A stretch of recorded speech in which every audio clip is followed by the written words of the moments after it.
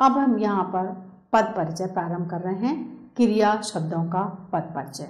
तो एक वाक्य ले लें कि कृष्ण ने कंस को मारा।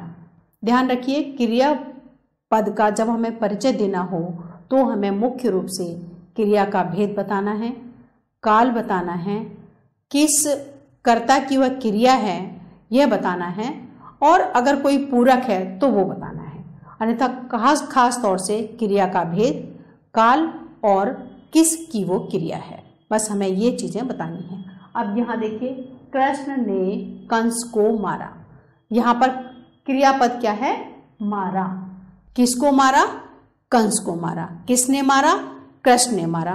तो ये कृष्ण करता हुआ, कंस कर्म हुआ और मारा क्रिया हुई। अब सबसे पहले प्रश्न उठता है कि यह किस प्रकार की क्रिया है? जैसे कि हमने पहले पढ़ा था कि जब वाक्य में कर्ता हो, क्रिया हो, कर्म हो, और क्रिया का प्रभाव कर्म पर पड़ रहा हो तो वह कैसी क्रिया होगी? सकर्मक क्रिया होगी। तो यहाँ पर कंस कर्म है और मारने की क्रिया का पूर्णतः प्रभाव कर्म पर पड़ रहा है। तो इसलिए यह कैसी क्रिया हुई? हम लिखेंगे इसमें सकर्मक क्रिया, क्योंकि यहाँ पर कर्म दिया गया है। अब काल बताना है मारा। मारा यानी कि यह कार्य हो चुका है। तो यह कौन सा काल हुआ? भूतकाल। अब यह क्रिया किसके साथ जुड़ी है? किसने किसने मारा? कृष्ण ने मारा। तो आप क्या बताएँगे कि यह क्या है? कृष्ण ने क्रिया की। क्रिया की या कृष्ण की क्रिया है, इस तरीके से हम लिख सकते हैं। तो इस तरीके से ये मारा शब्द का यहाँ पर हमने पद परिचय किया। दूसरा शब्द ले, उपवन में सुंदर फूल खिले हैं। उपवन में सुंदर फूल खिले हैं। यहाँ क्रिया क्या है? खिले हैं। क्या खिले हैं? फूल खिले हैं। अब उपवन में यह कोई कार्य नहीं हो रहा। तो यहाँ पर हम देख रहे हैं कि मुख्य रूप से यहाँ पर फूलों के खिलने की बात हो रही है। तो यहाँ पर कोई भी जो क्रिया है, इसमें कोई कर्म नहीं है, कोई कर्म नहीं हो रहा है। फूलों की जस्ट बात हो रही है, फूल खिले हुए हैं। तो यह कैसी क्रिया हुई? अकर्मक क्रिया।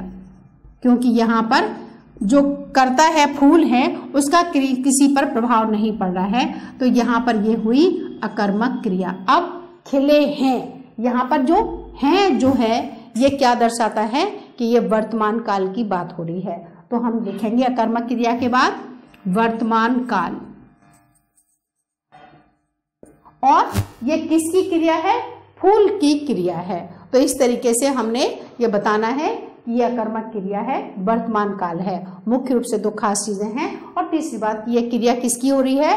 ये फूलों के द्वारा की जा रही है। तो इस तरीके से लिखेंगे तो ये इसका पद परिचय हुआ। एक और सेंटेंस ले लें, बच्चे दौड़ते हैं।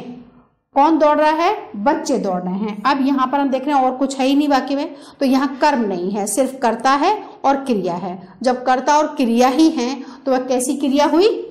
अकर्मक क्रिया हुई। क्योंकि वहाँ पर सिर्फ़ क्रिया हो रही है, कुछ कर्म नहीं हो रहा। तो ये अकर्मक क्रिया हुई और है का प्रयोग किया गया है। है शब्द वर्तमान काल को दर्शाता है। तो हम लिखेंगे अकर्मक क्रिया और वर्तमान काल।